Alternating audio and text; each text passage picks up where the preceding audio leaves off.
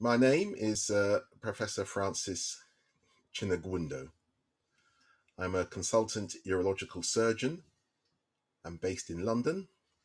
I work at Barts Health NHS Trust on the National Health Service, and in the private sector, I work out of the HCA London Bridge Hospital site. What I'd like to do is just to uh, spend a few minutes talking about one of the treatments that I offer for the benign enlarged prostate gland, which is called uh, Urolift. Now, Urolift is an attractive option for men with an enlarged prostate gland, also known as BPH or benign prostate hyperplasia.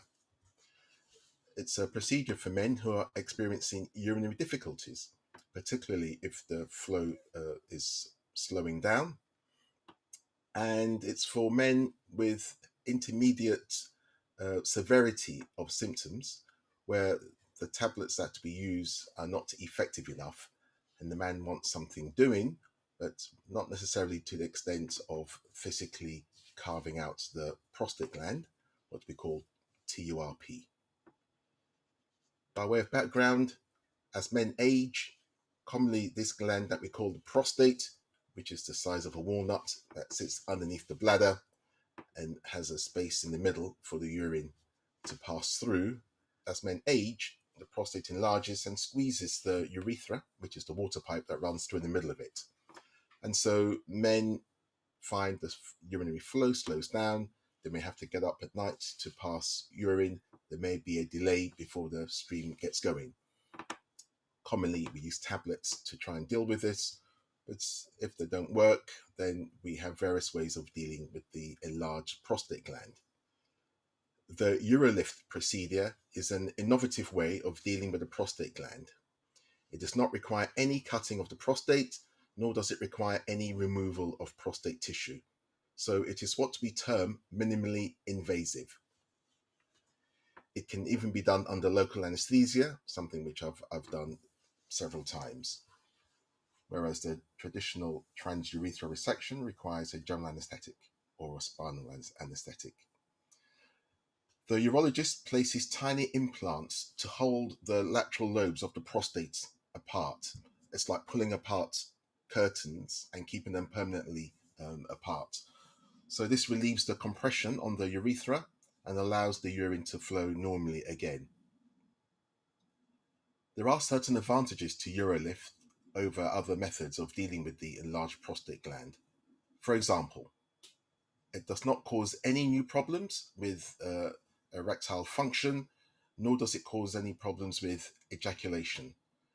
So, this is different to some of the other ways of dealing with the uh, prostate gland. Thus, fertility is not impaired if, if that's uh, an, an issue for you, and importantly, a normal sex life continues. Another advantage is that it is a day case procedure. A catheter is not necessary. The whole procedure takes less than 20 minutes, which is shorter than many other operations. And I generally advise men that it's a couple of weeks before they notice an improvement in their symptoms. There's a lot of clinical data to show that Urolift system is safe and effective in relieving urinary symptoms. And also importantly, it is a durable procedure. In other words, it lasts, and so is unlikely to need to be repeated, although it can be repeated if needs be. Another thing men often ask me is what are the side effects of Urolift? And I say generally few. It's it's it's well tolerated, but possible side effects include passing blood in the urine temporarily, there may be some burning initially whilst you're whilst you're uh, voiding. You may have to get to the toilet in a hurry, what we call urgency, and occasionally some pelvic pain. Most symptoms are mild to moderate and settle within two to four weeks. So I think that uh, Urolift is a, a, good addition to the treatment methods of dealing with the enlarged uh, prostate gland. In summary, Urolift is a minimally invasive treatment for the enlarged prostate gland. Generally, It works well in prostate glands below 80 grams in size, which is the majority of men. It works well for men with um, moderate symptoms. For those who have completed an international prostate symptom score, we're talking of a symptom score of 19 or less. And it's a well tolerated and effective treatment for most men.